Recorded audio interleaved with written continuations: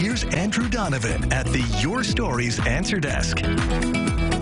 Joe Lento sent the Your Stories team a question, and here it is. What's happening at the corner property next to Barone's? That's the corner of Thompson and South Bay Roads in the town of Cicero. He says the area's been sold and looks cleared out. The town supervisor tells me that Barone's, the garden and greenhouse center next door, bought the property, adjacent to their existing one, of course. He says the town hasn't been made aware of exactly what they'll do with that new land. The owners tell us they're still trying to figure it out. Thanks so much for that question.